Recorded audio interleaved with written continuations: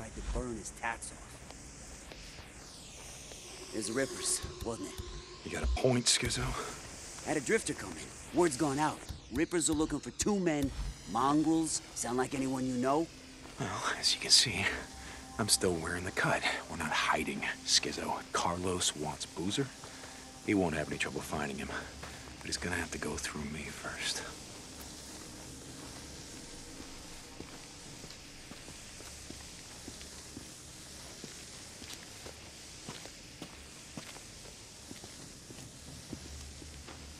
What'd you do to him? Gotta be something long before breaking the treaty. Long before... You know what? I don't know and I don't care. Have I killed a few rippers in my day? You're goddamn right I have. And after what they did to Boozer, I'm gonna go right on killing the crazy sons of bitches. Yeah? And Carlos is crazier than any of them. You don't want to be on his shit list, bro. What'd I just say? I don't care.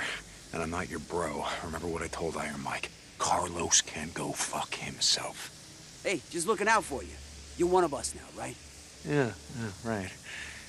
Don't worry about me and Boozer. We can look out for ourselves.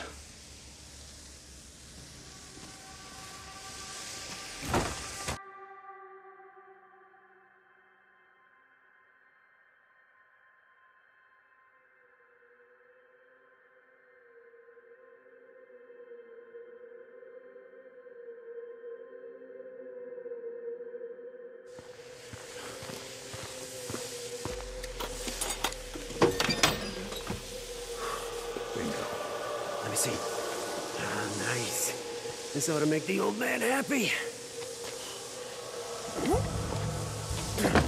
Shit's heavy.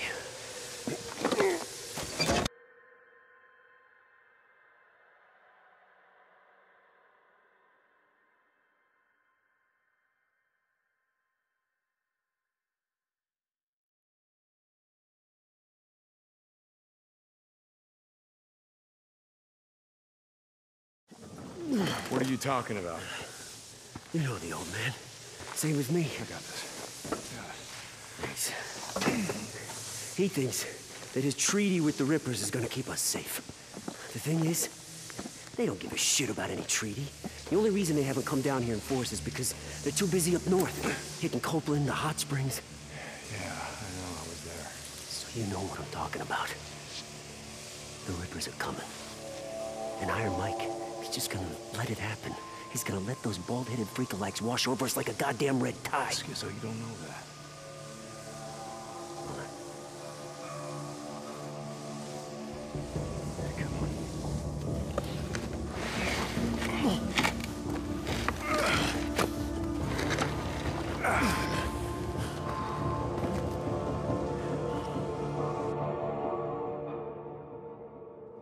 Jesus, never thought I'd be so glad to see the light of day. Shit, something else we agree on. That's twice in one day. Hold on for a second. Someone out there. Hey, Bite. Someone's inside. Hey, what you hiding out there? Sit in your pants. Come on now. Find the Rounders. Come on. Find him. Someone's here. Mister, my boy's got a little...